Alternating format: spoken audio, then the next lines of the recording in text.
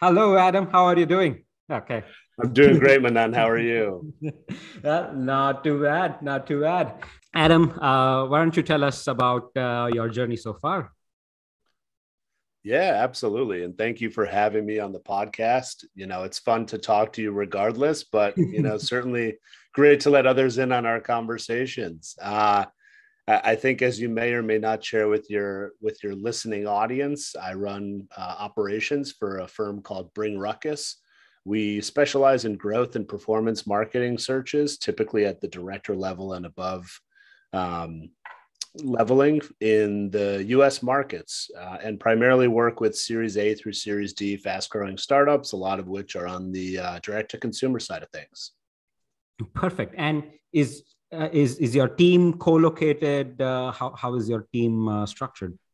Yeah, that's a great question. So I would say what's unique in my experience in my career uh, with Bring Ruckus as opposed to previous stops on my journey is that we don't have a physical office. We're actually pretty geographically distributed. Uh, we have a number of team members in Argentina, in Scotland, in Mexico, in Colombia, and in the US as well now. So we're uh, and coast to coast in the US. So we're we're very much covering you know a number of time zones and uh, it brings a really great vibe to our team.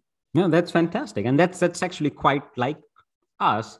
I mean, I think all of us uh, work in India, uh, but uh, again, no office.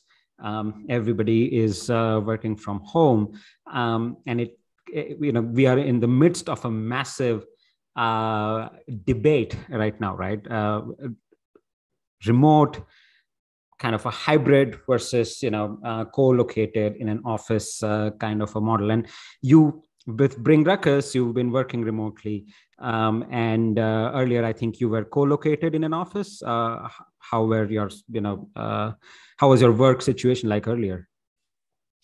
Yeah you know it's interesting. I think i think with the recruiting space and staffing in general there's there's a lot of external communication uh, there's a lot of conversations going on, and it can be often really challenging to be in an office space and going through that. I remember uh, a previous firm I worked with, Bring Ruckus, um, you know, isn't my first rodeo in the search space, but I remember, and this pr- was pre pre global pandemic, but we actually were looking at um, like these little cubicles to put in our office that were mm-hmm. soundproof so that we could have recruiters stagnate um, and mix around where they were taking calls.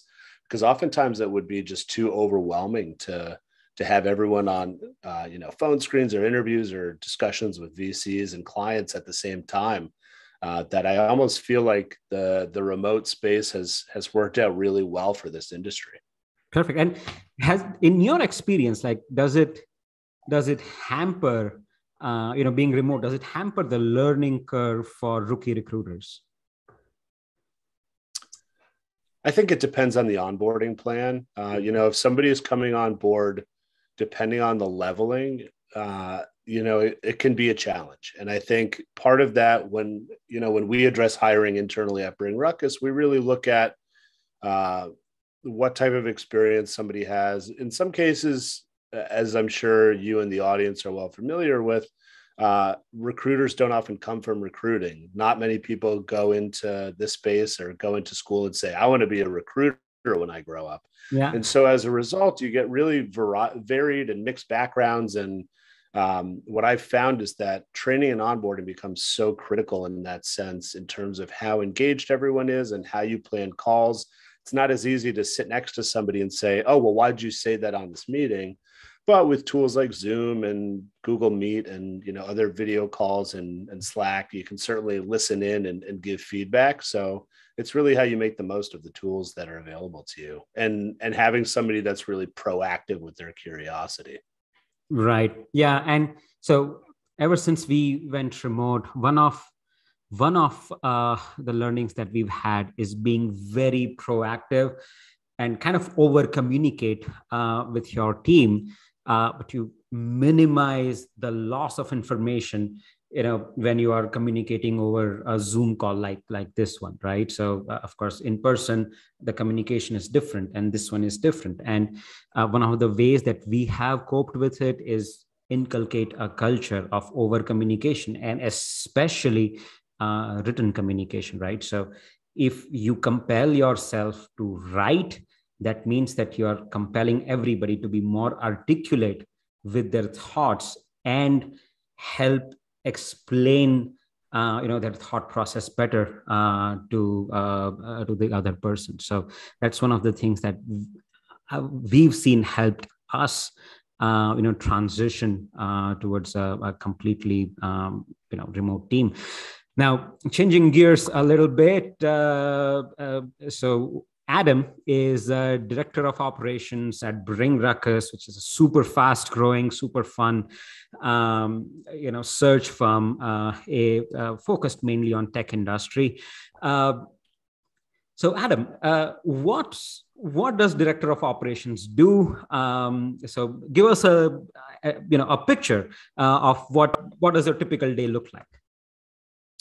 Yeah, it's a really good question. The answer that I like to give as like the simplest explanation is everything that doesn't involve recruiting and you know sourcing and research. Um, and that can be kind of a cop out statement, but but I think where I've found my niche in the search space, having not come from this space originally, is is looking at this as a business and and looking at the the customer experience lens meaning both the candidate and the client customer experience and figuring out everything from the tech stack that's used to the processes and workflow that are established to make sure that our firm is firing on all cylinders and delivering the expectations that our clients deserve you know transparently at the at the fee rates that they're paying. Um, you know many people will hire themselves and and more power to them but there's a reason why they choose search firms like bring ruckus to to enlist their services. And we want to make sure that when they do that that experience is exceptional. Right. Okay. So um yeah what does a typical day look like uh for you then? Well it's usually like noontime Indian whiskey with my friend Manan and product updates and yeah, it's it's easy, right? No, I think uh, there isn't a typical day, and I know that's a cliche answer. Um, a lot of what I do is a combination of, um, I call it like my air traffic control pilot view. Mm-hmm. So whether that's utilizing a tool like Recruiterflow and and checking in on each of our recruiters and search teams on the state of all of our active searches. I'm also working closely with our CEO to see what business is in development. Uh, I look closely at bandwidth to make sure that we're allocating resources appropriately. Um, I'm working on training and development and recruiting for recruiters internally, working on streamlining process, or to your earlier point, if there's documentation that's missing about how we do things, it is really critical to have written communication so that everyone's on the same page and not assuming that somebody on the team might know something and others don't. Yeah. Um, but I'm also involved, you know, I touch everything from our perks and benefits programs to to our hiring and forecasting and how we structure the team and incentives, um, and also working on building out different processes to make sure that we, you know, we scale successfully. Sure. Yeah, I mean, traditionally, um, we've seen at least i've seen this kind of a role given to uh, the title given to it like chief of staff right so mm-hmm. those chief of staff uh, who who makes you know makes sure that you know all the pieces are in place uh, so that uh, you know this this so that CEO's time and office is used for the most optimal uh, outcomes, right? So uh, absolutely, yeah. That, that and I have seen uh, you know this kind of a role uh, getting more and more traction in the world of uh, executive search, right? So uh, apart from Bring Ruckus, we work with a few other firms where they have you know either operations manager, director of operations, but somebody who's not involved in recruiting or in sales or anything at all. They just you know uh, manage operations.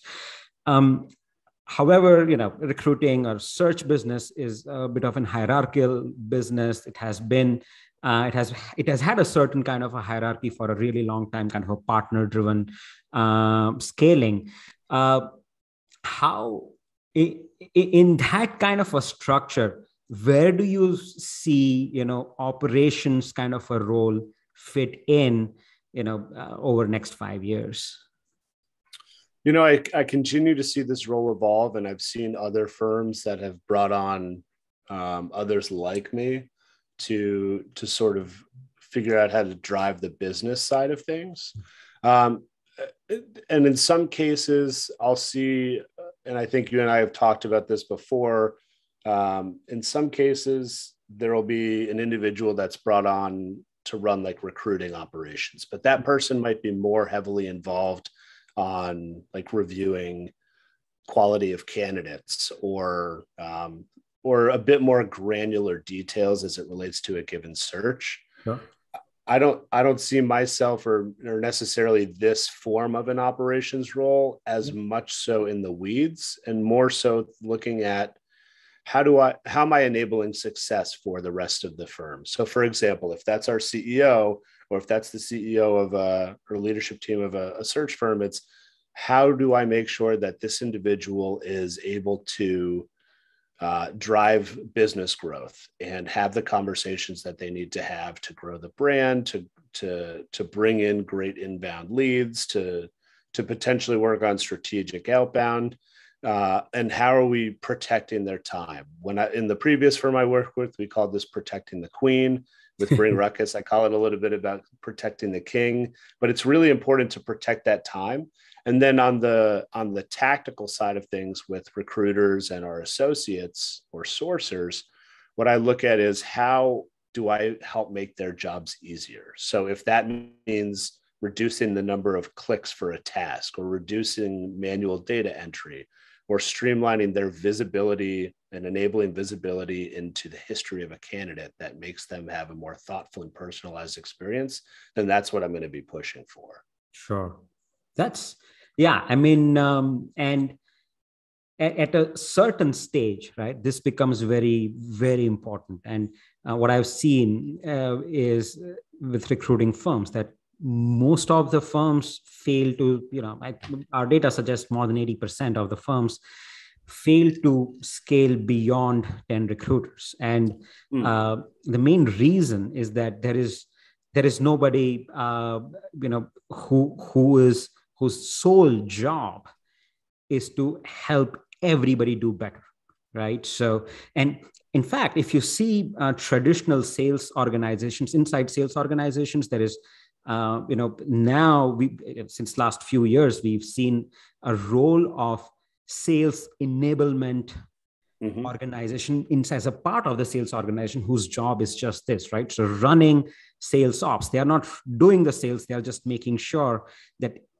every person in the sales team is operating at their 100% and I think one of the challenges with that, you know, sales enablement or sales ops role or or biz ops role in a search firm is, and I've had this discussion with our CEO, it is really difficult to quantify that value yeah. that that individual or individuals has on the business. You know, to some degree, you could you could speculate and say, if we didn't have this this function, would we be able to scale or grow, you know, 60%, 70% year over year. But it's really hard to actually nail that down and what that looks like. And that's a challenge when you look at in a sales organization or a recruiting organization, it's very much tied to, uh, for the most part, like a search number. So, okay, yes, if this person wasn't here, we wouldn't have hit X revenue dollars and, have been able to grow, which makes it, you know, very black and white on the on the value that's provided there. So that that's an interesting piece to look at as well as as firms scale and as this function takes off a bit more. Yeah no i i completely agree. Um, and so uh, while we are talking about scaling you you worked uh, across different spectrums um, uh, of uh, company sizes right? So can you can you give us an idea about how the operations and challenges are different at you know let's say a five recruiters firm a firm like Bring Ruckus, which is I think about 15 recruiters, or a firm like maybe let's say Swing, which is about you know I think about 40 recruiters. I can be off on numbers, but uh, generally want to talk about um, the main differences in operations and uh, challenges uh, at each stage. Yeah, you know it's it, it's interesting to me. I think one of the things I've noticed, and this might be true outside of the staffing space or recruiting space as well is early on when you're a handful of people, uh, you might externally mention your team um, and and the idea of we, but essentially it's it's all hands on deck. The the CEO or founder is often very hands on, out of necessity to really drive the business, drive drive pretty much everything as it yeah. relates to a business, whether it's the contract piece, the assigning of searches, the the um, you know, owning of client relationships. And then I think where the magic happens is when you gradually, as I said earlier, protect the king or protect the queen, and you now have a team that you trust, that you know can deliver the same experience that you envision driving, you know, whether it's one search or 50 searches at a time uh, to success. And so, uh, what's really fun about growing from you know the five person shop to uh to 15 20 and and going into double digit millions in revenue is is crafting that team with the and i'm sure you see this with Recruiterflow too with your own business in a startup is is figuring out how to capture the magic that is your culture with one or two people that stay up late and drink great whiskey to the people that are now when there's more people than were there to start with yeah. Um, when you look around a room and and even outside staffing, I remember being in a firm where I think I was employee 170 or something around there, and then seeing when we had 300 employees or 800 employees, and realizing this isn't a shared experience. These are now there's more people that have just started than were here for this journey, and so I think part of it is protecting the culture, protecting each.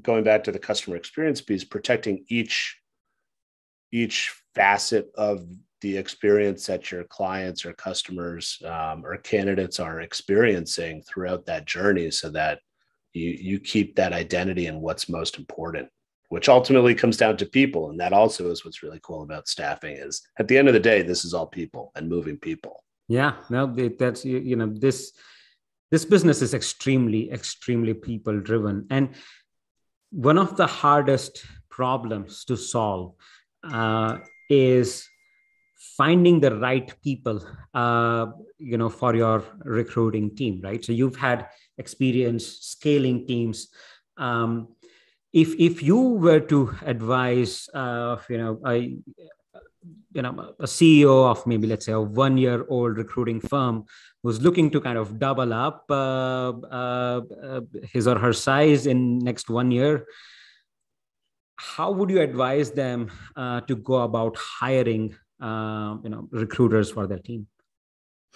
It's a good question. I think first and foremost what is the end goal um, and some people might not be comfortable speaking about that others are more outwardly confident and share you know my goal is to sell this business upon x y and z happening or I would like to see us grow to X, Y, and Z. And so part of my job on the operations side is okay, let's figure out how to get you there. Um, so whether that's assessing average contract size and doing the math about, well, if we bring in this number of recruiters and we assign, you know, a quota or something to that individual and, and figuring out, okay, this is how much business we have to generate to hit these goals. Um, it might not be as granular. And in many cases, when there's a great recruiter and they're doing this on their own and maybe just sort of testing the waters, the first question I ask is, why do you want to hire anybody else? Why don't you want to just do this yourself? Because the reality is the margins are fantastic. If you do a good job, you can make a lot of money in this space. Um, mm-hmm. And I think that's why there's a lot of people that hang their shingle and say, yes, I'm a recruiter. Um, do I think there's as much value in the network anymore? Probably not. Do I think there's value in personalization in those relationships? Yes. Um, but I, I always come back to what is the end goal. If you're if you're looking for, you know, a challenge of growing a team and growing a business, then you want to think strategically about how who you bring on next. if you want a very easy pace of life yeah um, and try to reduce the stress take on a few searches yourself and see if you can do it and realize that there's there's uh, a little bit of magic to this space if you figure it out um, so it comes down to what those drivers are i think. Sure. So uh, but in terms of you know so let's say you you're interviewing a recruiter right? So mm-hmm. what kind of traits would you look for um, you know in that in that recruiter? Let's say your your you know, your target is that okay this person brings in x amount of you know uh, billing and revenue um, and help help the firm get from a to b right? So um, how would you you know what in your opinion in your experience what are the defining traits of a great recruiter? And how to They've got to have that yeah so finding them is really hard. Yeah. uh, for those listening who are recruiters it is very much your market more power to you. Uh, the conversation and the landscape is greatly changed in the last several months from yes i'd love to speak more and learn about your opportunity to just flat out asking me you know if the person who asked me or persons who have asked me tell me what the comp is like good for you. That's that's great that you're at that point. But ultimately yeah. I, I look at the same thing that we look at with the clients that were with the candidates that we're looking to place at client businesses is have you do you have some type of a track record? Are you you know the prover- proverbial person that rolls up your sleeves um, uh, do I think that it's healthy at this point to be working like 80 hours a week? No. Hmm. Um, but I think you can work smarter, not harder. And part of that is the tools that you implement and the, the process that you implement. Um, and, and, I think what I've noticed is less and less of, uh, in my opinion, less of a focus on what, like if you've recruited before, what types of roles you've worked on, and more so like how are you going to resonate with our clients? Are you somebody who's going to build trust within the first conversation or are our clients going to constantly go back and say no i want to speak to you know bring me to your leader kind of a thing? Like i yeah. want to talk to them they're going to have the answers. Or are you the one that they say the client says uh, uh i trust you you're going to help me make the right decision and the candidate says I want you to be my, you know, my career Sherpa and take me along the way. And and I think that's so important. If you're somebody who can build your brand, if you're somebody who just has that gravitational pull on people, you're going to be a great asset anywhere as a recruiter. Um, but you got to have that hustle and and just you know, I think people in this space get a really bad rap, but those who do it well are really knowledgeable about the person in the seat that they're filling. Absolutely. Absolutely. The bad rap is uh, it's true. And I mean, you just do one search of recruiters on Reddit, and it will tell you the kind of um, that our, our, space has. But I think that, that that's that's driven by probably you know 20 25 percent of um, I, don't want to say bad apples, but it's just you know people who just haven't had enough experience um, and them making mistakes uh, and learning their steps, right? So, uh, and probably a few bad apples. Uh, so, um, yeah, I, I, I, but I, I see that right with a lot of uh, Recruiterflow customers, right? So they've been able to build relationships and build not just relationships but understanding of people and the space that they operate in that for them recruiting and you know getting you know i don't know 500000 600000 dollars in uh, billings in a year is practically like picnic right? Like it's it's not even work for them. They make a few calls do a few things and you know uh, have whiskey at 12 p.m in the afternoon and uh, they are done. So, uh, and you can get uh, one of the things that I've also seen is uh, that this is not an easy space. Like you can, you know, it it, it takes a lot of hard work uh, and a lot of smart work as well. So have you in your experience have you seen um, you know people burning out uh, or have you experienced that yourself? How have you uh, dealt with it or have you have have you seen others dealing with it? I think there's definite burnout and i think that's why you see a lot of i think back and forth to some degree with recruiters jumping between in-house opportunities and agency side or running their trying to give it a go at their own their own firm just by doing the math and saying, "Hey, I think I could do this on my own." Yeah. Um, and and I think it's a challenge, and I think part of it, you know, when I when I interview prospective recruiters to join us at Bring Ruckus, which we are very much, you know, trying to scale and find great people to join us. Um, how's that for a little plug? but but what I would say is, you know, one of the things I look at is people who are excited about the challenge of of getting to work with different clients. I think, you know, one of the things I hear consistently from in house recruiters is I've hired like 250 people this year and I'm just, I'm fried. And I've worked on the same roles and it's all internal. So it's the same business. Uh, maybe it's going through a lot more inbound um, to review. And on the agency side, you know, for us, we work with a wide variety of clients. Granted, historically, we've still worked in a pretty niche space and starting to expand beyond that. But it makes it a little bit more exciting. And each search is like, okay, let's, you know, let's shake it off and let's let's see, learn about a new business. And I think that intellectual or inherent curiosity really serves recruiters well because they get to dive into a new company, a new mission. Um, and I think when we talk about remote versus hybrid versus in office, I think one of the challenges that they now are seeing is how do you really how do you really soak in what that company's culture is like um, beyond just the tactical like okay what's your what's your budget been? Have you had any direct reports? Um, i think we're getting to a point where we need to get back to understanding like what those drivers are beyond just okay here's the metrics and checkpoints that you check off yeah. if that makes sense. Yeah. Yeah no absolutely.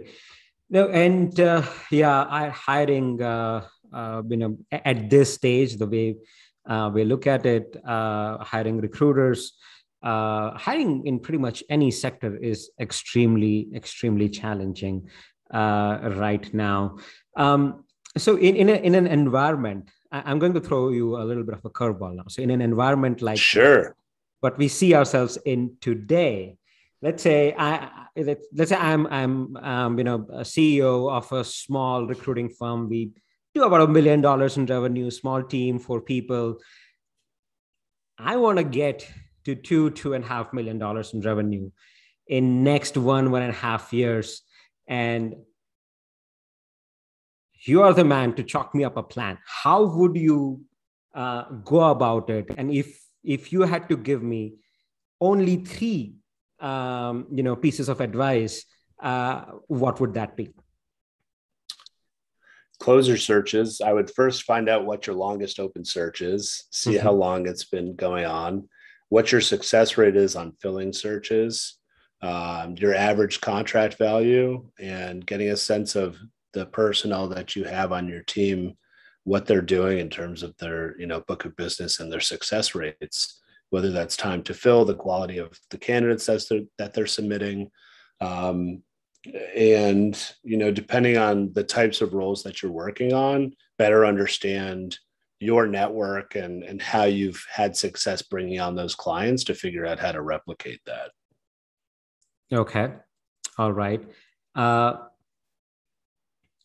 ah that's a lot to a lot to digest right so in and this is this is actually quite akin to how uh, we we think about scaling SaaS firms like like us, right? So uh, we look at pretty much the same matrix, right? So we look at ACV, we look at the sales cycle.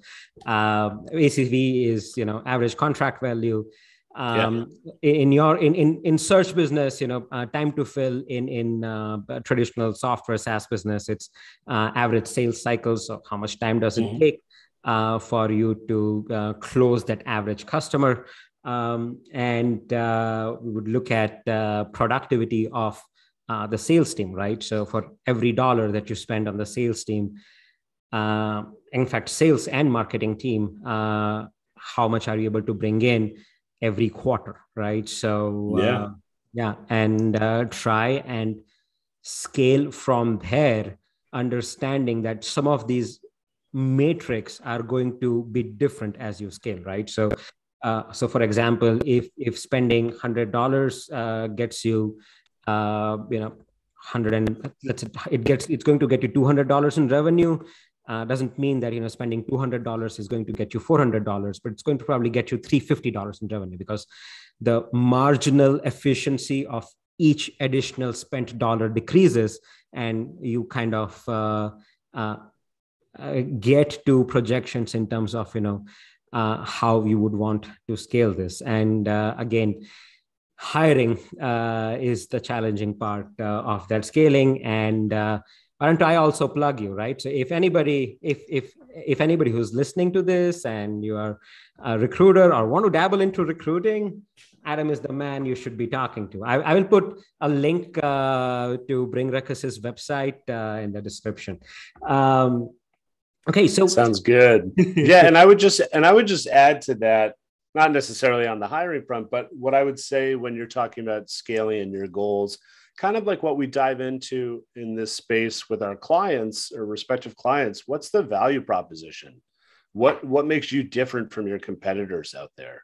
And how do you embrace that so that you can grow? Like for us at Bring Ruckus, we we really pride ourselves on being a little bit different and i think the irony there when you think about you know the word ruckus and yeah. part of our goal is to really reduce ruckus for our clients yeah. um, so something to think about in terms of an oxymoron if you will but ultimately it's it's what's your value proposition? What what has worked really well for you and why are you different from all these other staffing firms out there recruiting firms or in-house teams that's going to allow you to generate that success and make sure it's not just a flash in the pan? Yeah absolutely. And but it's it's it's it's not easy right? So especially in a service uh, space right? Especially in uh, executive search or a staffing business. How would you okay so uh, okay i'm your friend. I'm going to believe you. Yes bring ruckus is different but if i were not your friend how would you convince me about you know br being being different from maybe 20 other firms out there? Go to one of our events okay uh, i i i, uh, grace from bring ruckus uh, uh, sends me invites to a whole lot of them I'll probably attend one of those. I'm, I'm yeah, too you know, far away from the D2C space. and you know, and I think we, you know, we just started to do some in-person events as well. We're doing one in Buenos Aires in Argentina. We just did one in New York City this week. Yeah. And I think, you know, just having a casual environment for for these really fascinating startup leaders and and growth individuals to to not necessarily feel the pressure of an interview, but just to sort of nerd out on what they're passionate about. Yeah, um, has proven to be a really great space. We, you know, bring ruckus. I think one of the things that uh, is a differentiator for us is we very much focus on karma, and we try not to to work with people that are not going to um, necessarily aligned with that mindset or mentality of just doing the right thing and working with great people, whether that's clients, candidates, like we talked about earlier. It comes back down to people. Um, and it's part of how we look at hiring. I know you said hiring for recruiters is hard. The the skill set and the chops is really hard, but just being a good human being and having somebody not saying there aren't good human beings out there, but but finding somebody that's going to embrace uh, embrace your you know what you're working on and and who you are collectively as a as a unit to try to drive that scale it's it's challenging. Yeah, yeah that's that's right. And so i was i think last last week or uh, the week before that? I'm not sure. Um, i was talking to uh, a customer of recruiterflow and also a great guy uh, tris revel who, who runs uh, this firm called growth hacking recruiters which is also uh, a facebook group.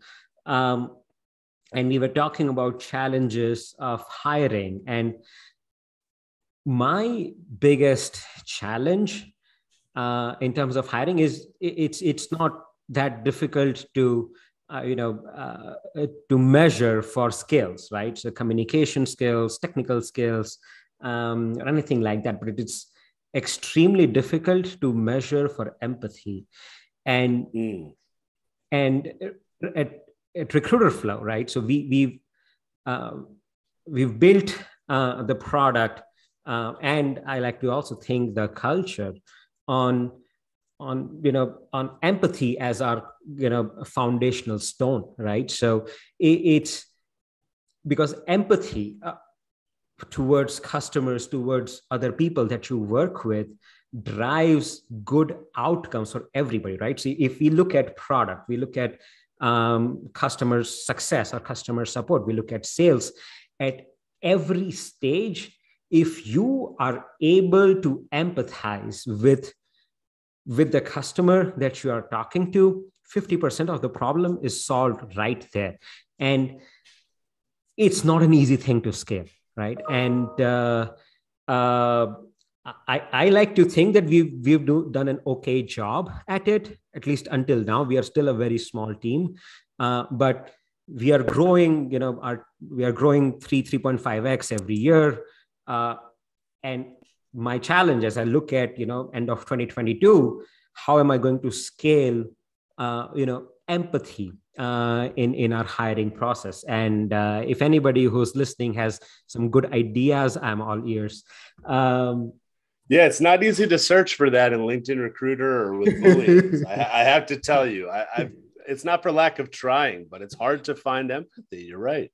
Yeah, yeah we are, uh, and it's it's. I think it's the most if i had to define like the single most important thing that we look for is empathy right? So if you if if you have empathy it'll solve a lot of problems um, at least in a culture like us. Um, so uh, uh, so yeah um, so to give uh, our listeners a little bit of an idea bring ruckus and adam um, have been uh, Recruiterflow users.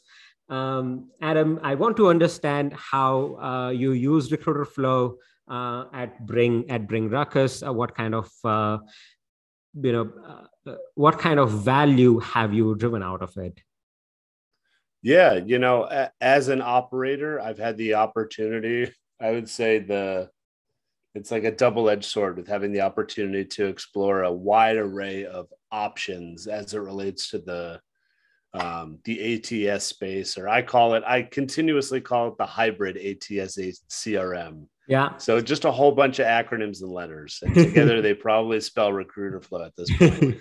um, uh, even to the point of you know jerry rigging some different other tools to try to make them work.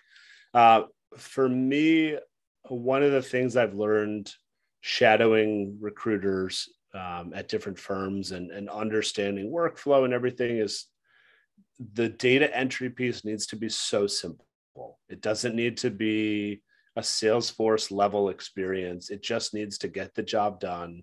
Um, and I would say the biggest difference for us that I look at is when I look at a tool like LinkedIn Recruiter or AngelList or some of these other platforms, I look at that as like the cold source of truth or the cold outreach. And when I look at Recruiterflow, I call it our warm sourcing tool.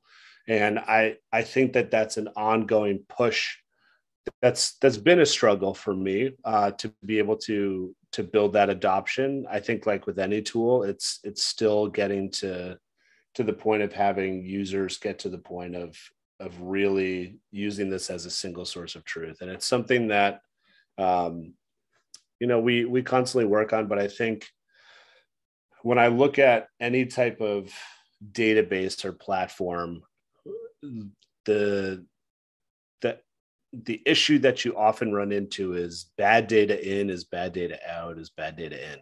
Yes. So part of it is data governance, and part of it is figuring out how to get the most value and have the fewest number of clicks.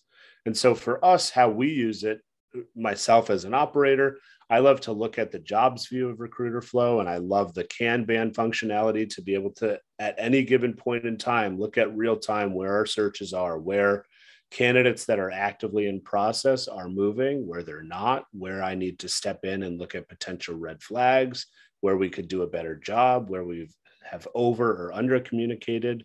Um, from a business development side of things, it gives our team insight into what potential business we'll work on and just a really clean way of looking at people that we've had two way engagement with. Yeah, no, you're right. And um, it's it's very easy to drive adoption in a in a in a, in a small setting but eh, once you cross you know eight ten uh, people uh, kind of a mark um, the biggest challenge is driving adoption. And that's why just sales there is there is a multi-billion dollar dollar industry of just the tools that help people to data entry into salesforce i mean you know so you can probably because salesforce experience for for day to day you know for sales uh, representatives is not the best, uh, but it's it's a great great tool for you know VP sales, right? So uh, uh, and the, there is a you know a billion dollar industry of uh, just uh, uh, Chrome extensions and uh, Gmail plugins and all these sorts of different things just to help people put data into Salesforce. So, um, yeah, that's fantastic. Um, what would you say is your favorite feature of Recruiterflow then? The next one. I and I say that you know partially joking for the zinger, but I also say it because uh, what I've what I've enjoyed about our working relationship and personal relationship is you're so when you talk about empathy, you're very as a leader of your organization are very open to feedback and understanding what's going to make your customers experience which in turn makes their customers experience that much more impactful using your your system. And it's been so enjoyable to be able to go through feedback whether it's coherent or run on sentences that i email you in the frantically in the middle of the night or just hey what if uh, type of scenarios. That's been really fun to watch the evolution of your business and how each little adjustment has made our jobs easier yeah, no, absolutely. And we thrive on that, right? So uh, uh, we've been able to get uh, Recruiterflow right mostly because of customer feedback right so and um, again it all comes back to empathy that you know if if you are if you have empathy you would try and put yourself in your customer's shoes and say hmm. How about that right? That question is is very important. Um, and uh, yeah that's that's that's you know the best answer that i've heard to this question in my limited experience of recording maybe what 10 podcasts or something like that. Well you know i think you have a very you know there's empathy but there's also a thick skin. And i think with all the questions that i throw at you i don't think there's ever been uh you know uh even I would say you're unwavering in your your drive for wanting to to to help us achieve what we're trying to achieve. And it could be the Amrut talking, but I, but I do, you know, I genuinely believe that. I think you're you're in business for the right reasons and to to really help make this a successful product and not waiting, you know, a quarter or two quarters down the road to challenge yourself and your team to get that done. Yeah, no, I'll drink to that. Cheers. yeah, cheers. Uh, all right. So, Adam, you, you've had a, a, pretty long career in recruiting, outside of recruiting. Um, to close out, I want to ask you uh, about you know one person, one book, one podcast, anything, anything at all that has had an outsized impact on how you look at the world? Mm, that's tough. Uh, the biggest impact has probably been from my wife, but if you want to go like the podcast route, which which is fine, uh, I would say there's a podcast called How I Built This, and I think mm-hmm. it's run by Guy Raz. Uh, and what I enjoy about it is, I think, to the best of the ability with these podcasts, is really dives into the backstory of how founders go about their journey um, in some unsuspecting ways. Even hearing about guys like um, the founder of um, there's like a bread company okay. and what this guy went through from going to like going down the path of drug use and prison and losing a kid to to then figuring out like the path to success in this business and and realizing like it was okay to go into a family business and here's how they did it and here's how they scaled. It's it's fascinating to hear directly those stories. Um, you know having also been a startup founder myself um, and one that you know doesn't end up you know yes we're on crunchbase saying we were acquired which peripherally looks great but you know we're not the ones in techcrunch getting the big headlines saying you know multi-millions of dollars invested or buyout and now they're on the forbes you know wealthiest people list. Yeah. the reality is there are a number of different startups that you never see make it to that to that point. And so i think hearing the perspective of you know it isn't just you know finding a vc that's passionate about what you're doing and cutting you a check. It's really about um, you know that drive mentality and and having the willingness to try to try to see what you do after failure that's really exciting. Yeah no you are absolutely right. And i don't know i i, I have the worst ability to remember who who said those quotes or ex- actually exactly remember those quotes but uh, it, it went something like this right? Like the test of a character is not how hard you can punch but it's uh, how you get up after taking a punch or, or something like that it's I'm, I'm really bad at it, but it, it the, the if it if it all comes back if it all comes back to Bill Murray, you're okay. Just say so. I got that going for me.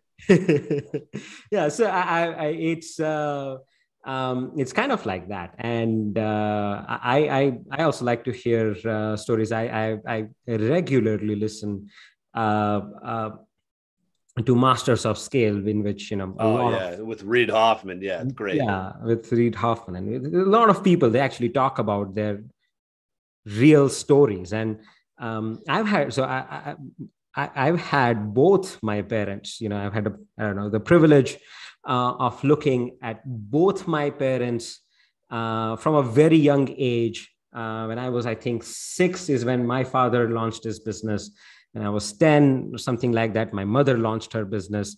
Both of them, you know, uh, stumbling, succeeding, failing, and eventually scaling um, their their you know businesses to a point where you know they are they are extremely happy uh, and uh, uh, and my mother in fact has been a constant source of inspiration for me right and i've seen her work and she she is um, you know again and one thing that i've seen her do her job really really well is again empathy right? She's the one thing that she does very well is listen understand. She's, she's a financial advisor so her whole thing is okay how do i help you achieve your financial goals and uh, uh, manage your money right? So uh, um, that's a that's an interesting point you bring up um, you know as the as the kid of of entrepreneurs and i wonder about that for my own kids. Um, you know i think you and i have talked about how my my wife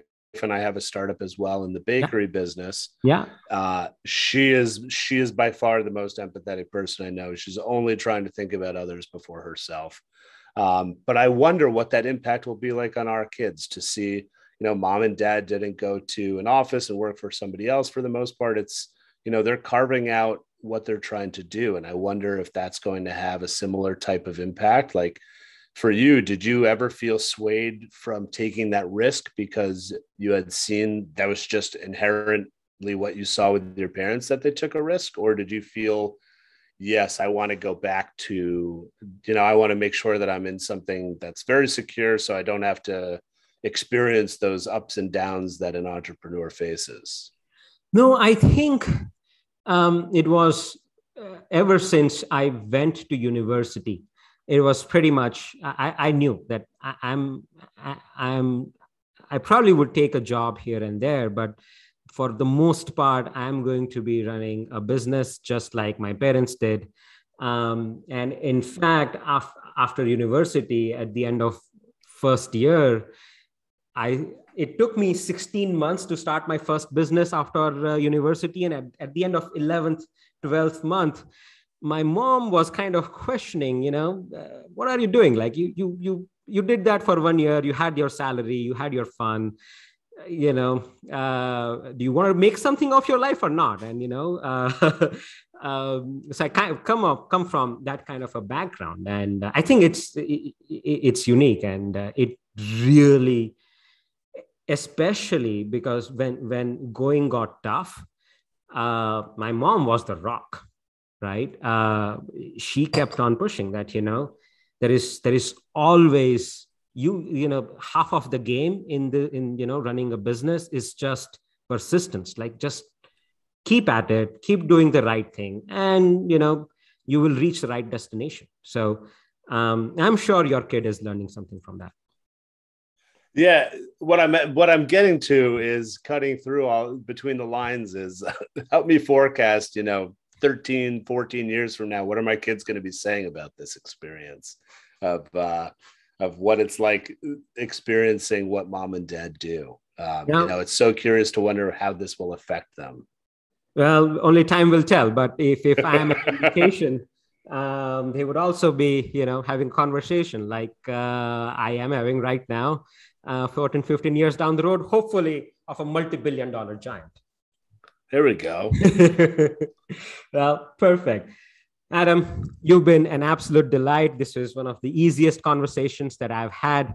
Uh, thank you so much. I will put the link uh, of Bring Ruckus and uh, uh, you know Adam's LinkedIn profile in the description. If you want to find Adam, hit him up. Sounds good. Thank you so much, Manan. It's been a pleasure. No, my pleasure. Thanks, Adam.